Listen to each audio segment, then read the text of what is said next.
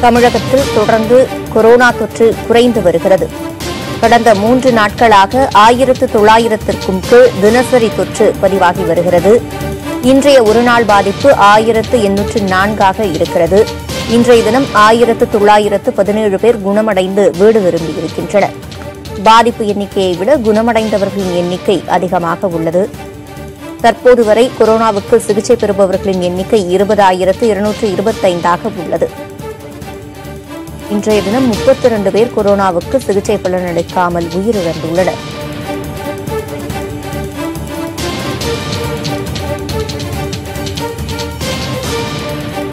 மாவட்ட வாரியாக கொரோனா பாதிப்பு நிலவரத்தை பார்த்து வருகிறோம். இன்றைய தினம் சென்னையில் இருநூற்று ஒன்பது பேர் புதிதாக கொரோனாவுக்கு ஆளாகியுள்ளனர். கோவையில் இருநூற்று ஆறு பேர் கொரோனா பாதிப்பு அடைந்திருக்கின்றனர். நேற்றைய எண்ணிக்கையை பார்க்கும்போது கோவையில் சற்று அந்த எண்ணிக்கை குறைந்திருக்கிறது. சென்னையில் சற்று அதிகரித்திருக்கிறது. ஈரோட்டில் நூற்று அறுபத்தேழு பேர் கொரோனாவுக்கு புதிதாக ஆளாகியிருக்கின்றனர்.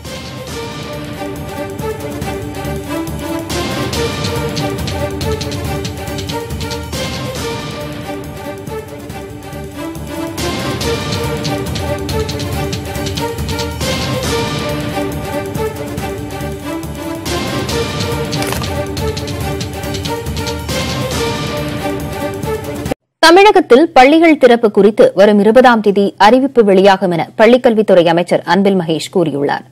தமிழகத்தில் ஒன்பது முதல் பன்னிரண்டு வரையுள்ள வகுப்புகளுக்கு செப்டம்பர் ஒன்றாம் தேதி முதல் பள்ளிகளை திறக்க உத்தேசித்திருப்பதாக ஏற்கனவே தெரிவிக்கப்பட்டிருந்தது. இந்நிலையில் பள்ளிகள் திறப்பு குறித்து பள்ளிக்கல்வித்துறை செயலாளர் காகர்லா உஷா ஆணையர் நந்தகுமார் அனைத்து மாவட்ட முதன்மை கல்வி அலுவலர்கள் ஆகியோருடன் அமைச்சர் அன்பில் மகேஷ் பேச்சுவார்த்தை நடத்தினார். அப்போது பேசிய அமைச்சர் பள்ளிகள் திறப்பு குறித்து இருபதாம் தேதி முதலமைச்சர் மு க ஸ்டாலினுடன் பேச உள்ளதாகவும் அதன்பின் பள்ளிகள் திறப்பு தேதி குறித்து முடிவு செய்யப்படும் என்றும் தெரிவித்தார். பள்ளிகளில் ஆசிரியர்கள் மாணவர்களுக்கு தொற்று ஏற்படாத வகையில் பாதுகாப்பான சூழலை ஏற்படுத்துவது குறைக்கப்பட்ட பாடத்திட்டங்களை கொண்டு விரைவாக பாடங்கள் நடத்துவது உள்ளிட்ட அம்சங்கள் குறித்து இந்த கூட்டத்தில் அதிகாரிகளுடன் அமைச்சர் ஆலோசனை ஹலோ டியர் ஸ்டூடெண்ட்ஸ் சொல்லலாம் இந்த வீடியோவில் நீங்கள் பார்க்க போகிறது என்ன அப்படின்னு சொல்லி பார்த்தீங்க அப்படின்னா ஸ்கூல் ரீஓப்பன் பற்றின ஒரு நியூ அப்டேட் பார்க்க பாருங்க ஸோ வீடியோ மூலமைக்கும் பாருங்கள் வீடியோ பிடிச்சிருந்தா லைக் ஷேர் அண்ட் சப்ஸ்கிரைப் பண்ணுங்கள் ஸோ வாங்க வீடியோக்குள்ள போகலாம் ஸோ இப்போ வந்து பார்த்திங்க அப்படின்னா கொரோனா பரவல் வந்து தமிழகத்தில் வந்து குறைஞ்சிட்டு இருக்கு ஸோ மூன்று நாட்களாக ஆயிரத்தி தொள்ளாயிரத்து அதாவது தௌசண்ட் நைன் ஹண்ட்ரடுக்கு கீழே வந்து கொரோனா பாதிப்பு வந்து பதிவாயிட்டு வருது. ஸோ அதனால் கண்டிப்பாக ஸ்கூல் ரீஓப்பன் பண்ணுறதுக்கான வாய்ப்புகள் நிறையவே இருக்குது. ஸோ மாணவர்களே ரெடியூஸ்டு போர்ஷன் அனௌன்ஸ் பண்ணிட்டாங்க நீங்கள் படிக்க ஸ்டார்ட் பண்ணிக்கலாம். ஸோ உங்களுக்கு ரொம்பவே யூஸ்ஃபுல்லாக இருக்கும். இன்றைய கொரோனா பாதிப்பு வந்து பாத்தி- நேற்றைய கொரோனா பாதிப்பு வந்து பார்த்திங்க அப்படின்னா ஆயிரத்தி எட்நூற்றி நாலு.